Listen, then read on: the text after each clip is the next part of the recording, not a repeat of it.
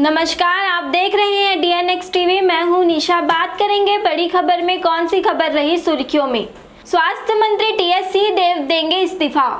छत्तीसगढ़ के स्वास्थ्य एवं पंचायत मंत्री टीएस देव का बड़ा बयान सामने आया है टीएस सिंहदेव ने कहा है कि अगली फ़सल के पहले किसानों को अंतर की राशि की दूसरी किस्त देने के लिए कैबिनेट में तय किया गया है। यदि 20 अगस्त तक प्रति क्विंटल अंतर की राशि किसानों के खाते में नहीं गया तो मैं इस्तीफा दे दूँगा।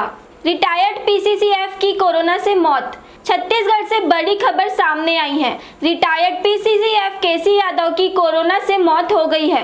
प्रदेश में मौत का आंकड़ा चौदह हो गया है। बता दें, केसी यादव डायबिटीज़ की बीमारी से भी पीड़ित थे। बकरियों का भी किया जाएगा कोरोना टेस्ट। कर्नाटक में एक चरवाहे के कोरोना वायरस से संक्रमित पाए जाने के बाद उसकी सड़तालीस बकरियों को क्वारंटाइन किया गया है। यह नायाब मामला बेंगलोर से लगभग 127 किलोमीटर दूर तुमकुरु ज़िले के गोड़केरे गाँव का है। मुख्यमंत्री भूपेश बघेल ने कहा, डॉक्टरों को धरती पर भगवान की संज्ञा दी गई है। मुख्यमंत्री भूपेश बघेल ने भारत रत्न डॉक्टर विधान चंद्र राय की स्मृति में मनाए जाने वाले डॉक्टर्स डे के अवसर पर देश और प्रदेश के सभी चिकित्सकों को हार्दिक बधाई एवं शुभकामनाएँ दी है। उपराष्ट्रपति वेंकैया नायडू को सीएम भूपेश बघेल ने जन्मदिन की दी बधाई। मुख्यमंत्री भूपेश बघेल ने भारत के उपराष्ट्रपति वेंकैया नायडू को जन्मदिन की बधाई एवं शुभकामनाएँ दी। ट्वीट कर कहा, मैं ईश्वर से आपके उत्तम स्वास्थ्य एवं सुदीर्घ जीवन की कामना करता हूँ। बस संचालकों को अब घर बैठे मिलेगी परमिट।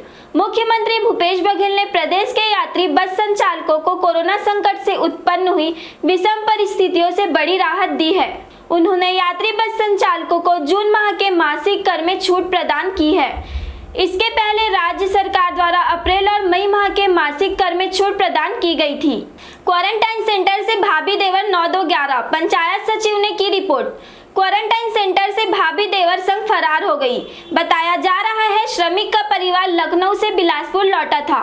यह मामला ज़िले के ग्राम सौदा शासकीय स्कूल के क्वारंटाइन सेंटर का है। ग्राम पंचायत सचिव ने सकरी थाने में देवर संग भाभी की फरार होने की रिपोर्ट लिखाई है। बीएसएफ के दो जवान कोरोना पॉजिटिव। कांकेर ज़िले के पखांजूर के नक्सल प्रभावित इलाकों में तैनात बीएसएफ के दो और जवान कोरोना की चपेट में आ गए हैं।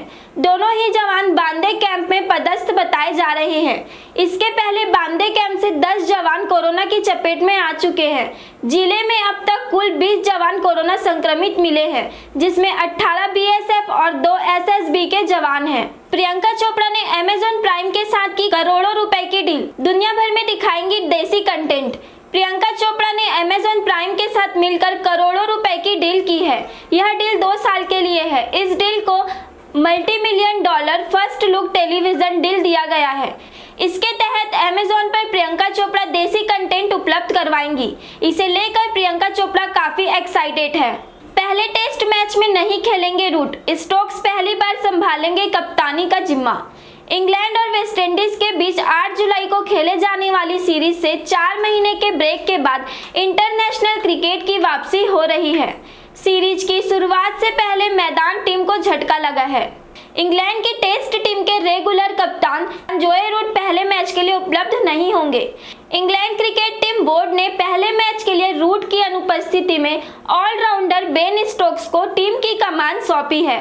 आज की बड़ी खबरों में इतना ही। हमारे चैनल को सब्सक्राइब करिए और हमारे आने वाले वीडियो की अगली नोटिफिकेशन के लिए बेल आइकॉन पर क्लिक करिए।